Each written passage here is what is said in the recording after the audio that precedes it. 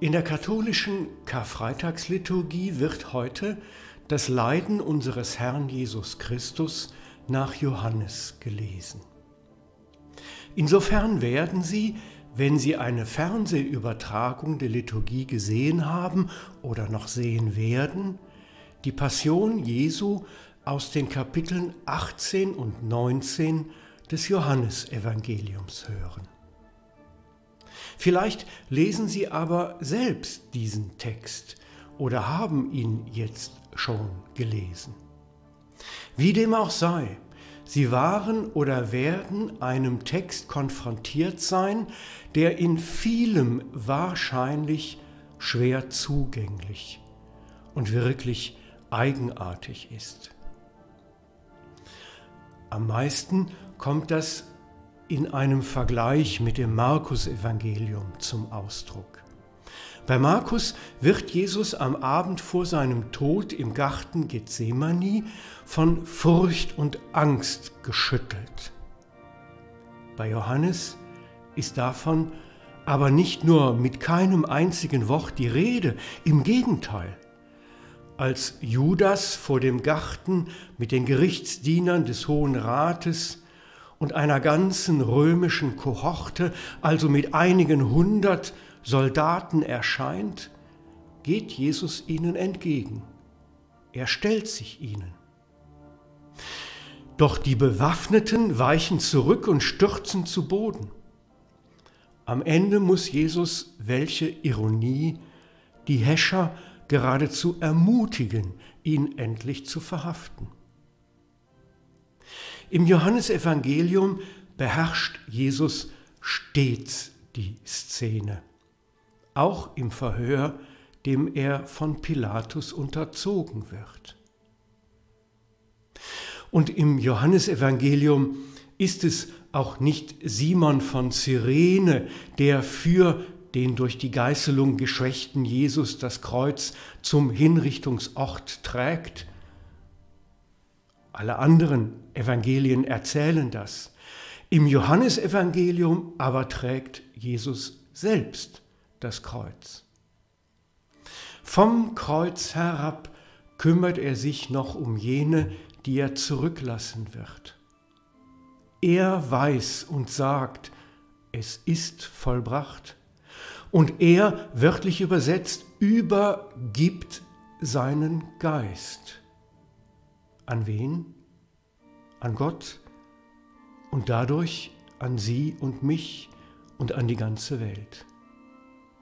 Zwar setzen sich die Ankläger Jesu beim römischen Statthalter durch, Pilatus verurteilt Jesus zum Tod, aber was also eine Beugung des Rechts ist, von Pilatus aus Feigheit begangen, bringt im Endeffekt die Wahrheit hervor.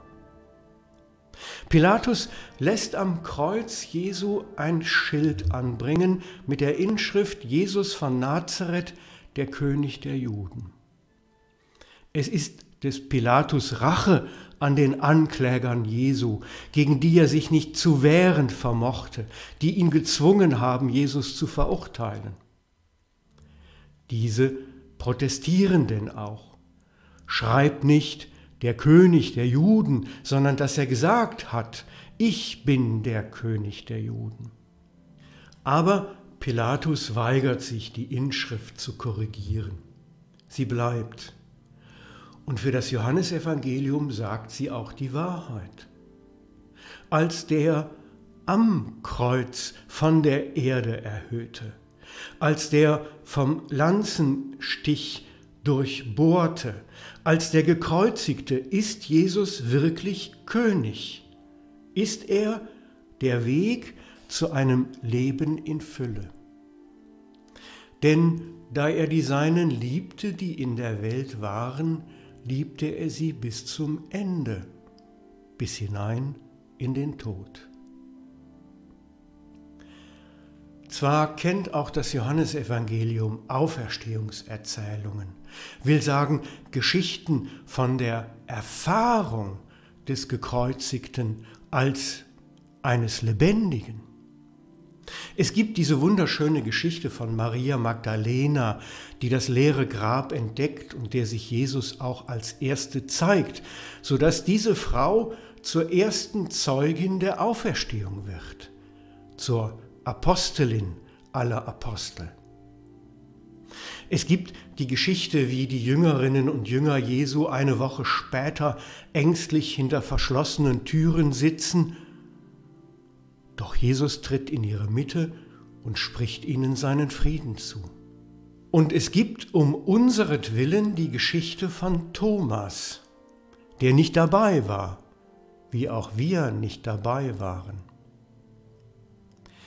Doch das Johannesevangelium hat den Mut, den ungeheuren Skandal, dass Jesus aus Liebe den schmählichen Tod eines Gekreuzigten erlitten hat, als das Ganze der Offenbarung Gottes in Jesus Christus zu verkünden. Und was es darüber hinaus noch gibt, ist, mit Rudolf Bultmann gesprochen, die Wiederkehr des von der Erde geschiedenen Jesus in der Erfahrung des Glaubens. Die Wiederkehr des uns entzogenen Jesus in ihrem und meinem Glauben.